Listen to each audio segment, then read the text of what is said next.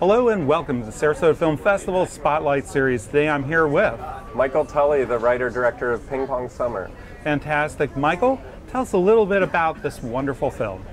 Well, thank you for calling it wonderful. It uh, is. First of all, um, Ping Pong Summer is a movie I've been. I had the idea in 1992 when I was a senior in high school. So it's a movie I've been dreaming of making for 20 years. Back then, it was kind of a period piece. Now it really is because it's set in 1985. Mm-hmm. And um, what I wanted to do with the, the experiment was to see if what if I inserted my own sort of middle class, normal, loving upbringing into the 80s movies that I was watching at that age because I would go see like The Karate Kid or something, Mm-hmm. but then I'd go out in the car and put on rap music that I used to listen to before it became really mainstream. Absolutely. So I would like go to this movie and then I'd come out and have the Fat Boys or Run DMC on my headphones and I just thought, what if, and I'd play ping pong in the garage and I thought, what if I inserted that into Oh, a beach coming of age summer movie? And that extended to shooting in uh, Ocean City, Maryland, which is where I vacationed growing up. Oh, that's fantastic. Now you have a stunning cast on Yeah. this beyond just the two young leads, and we'll get to them in a minute. But you've got some names and faces that people will definitely recognize. Can you talk a little bit about them?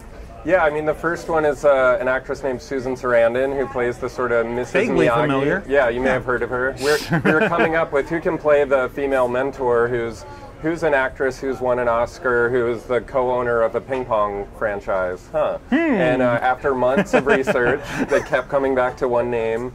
Um, and Susan responded to the project. She had seen my earlier film that I was here with in 2011, which is a very strange movie, and she kind of got on its weird wavelength. So at that point, we thought we would get along well together. Also, we have John Hannah, who's a Scottish actor. He plays Irish in the movie. Um, that's how good of an actor he is. Uh, and Lea Thompson, who's Yes. from you know all of those iconic '80s movies. Back but to the good- Future. Back to the Future for one. Uh, Howard the Duck, Some Kind of Wonderful. Mm-hmm. But the good thing about Lea was she's still a uh, young. Talented actress, so we Yes. weren't trying to use it as hindsight humor. Yes. But when you're making a low budget movie, that's odds are stacked up against you for people to take your movie Sure. seriously. Sure. So we thought having an actress already there's a credibility in that when you see these Absolutely. faces. But she's also good enough that she didn't even have to act. Her Yeah. eyeballs are Oh, like I would make you laugh out loud.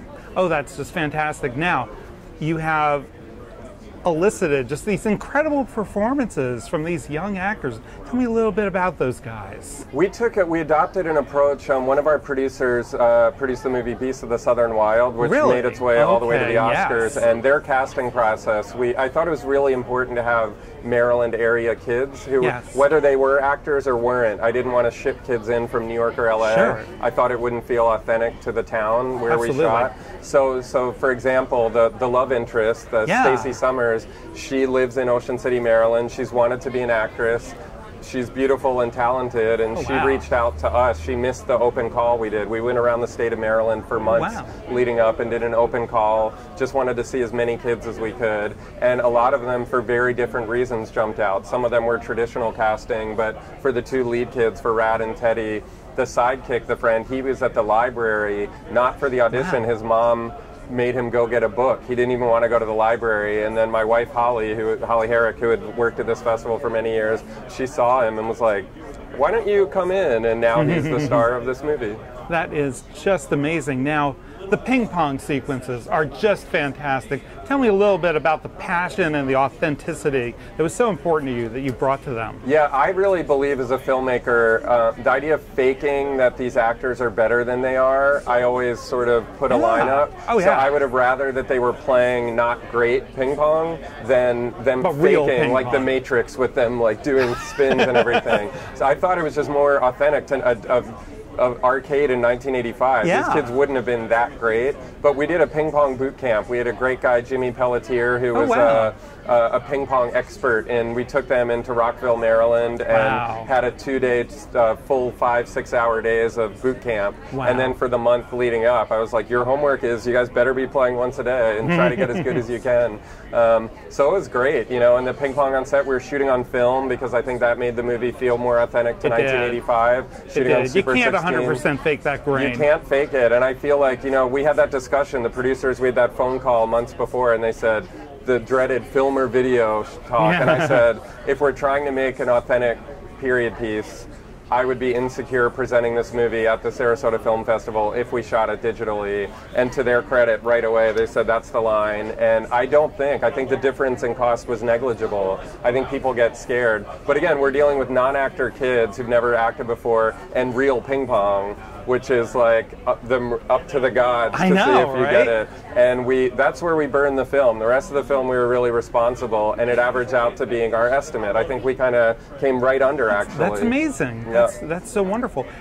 In summation, what would you like our audiences to take from Ping Pong Summer? I think what I hope audiences take, I mean, it's all up to the audience themselves, but I want them to think uh, ultimately if the movie rides a line of cheesy and sincere, and my hope is that people sense that it's coming from a very sincere, authentic place, that we're not making fun of this town or these people. So I really want ultimately by the end, whether you like the movie or not or say it's good or not, I want them to at least say the filmmaking was sincere and honest.